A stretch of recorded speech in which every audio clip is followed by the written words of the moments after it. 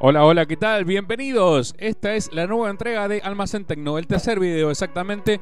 Hoy conseguí este parlantito, que es un parlante con forma de auricular. La verdad que está muy bueno, ahora lo vamos a ver. Acá la caja nos puede decir que tiene radio FM, tiene, bueno, carga, tiene eh, para tarjeta de memoria, para eh, también lo que es pendrive. El color, en este caso me tocó blanco, pero también vienen en negro, verde, rosa y azul.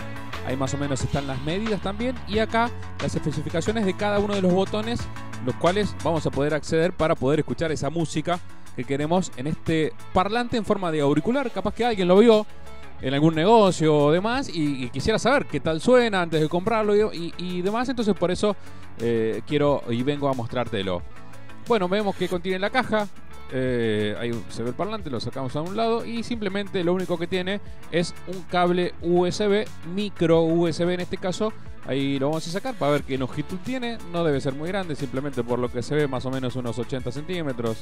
Sí, un, menos de un metro es, es pequeño el cable. Bueno, vamos a lo importante: el parlante, parlante auricular. Bueno, en un plástico con una terminación linda. Se ve ahí como dos parlantitos dentro es igual que un auricular, eh, tipo un AirPod, ¿no?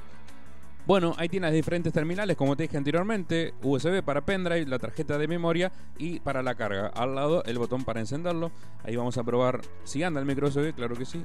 Es el conector que va ahí. Lo puedes conectar con ese cable que viene o con cualquier otro cargador que tengas en tu casa.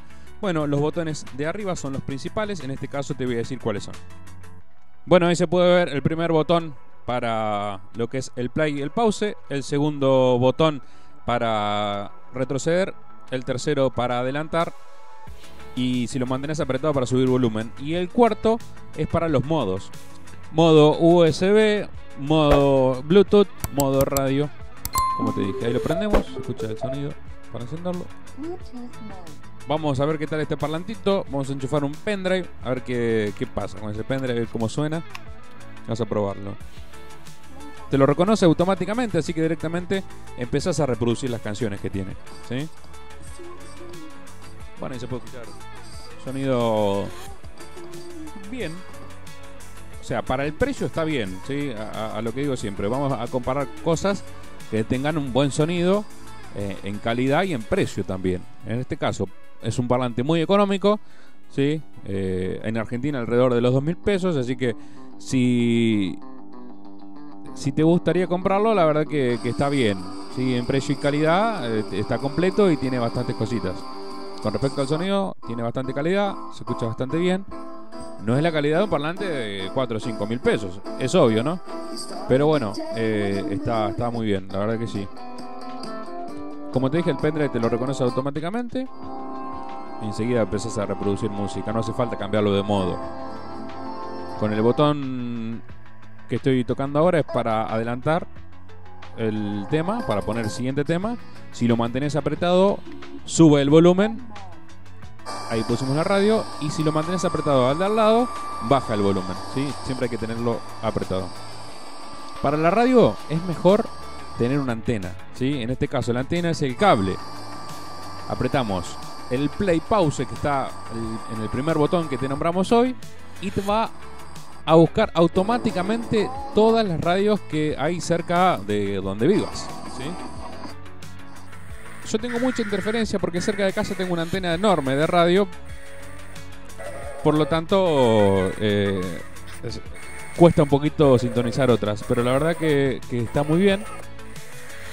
Una vez que sintonizó la radio, vas a ver que se escucha muy bien. Ahí adelantamos un poquito la toma para que veas Ahí está el micrófono también para si tenés conectado Bluetooth y recibís una llamada, también puedes contestar directamente con, con este parlante auricular.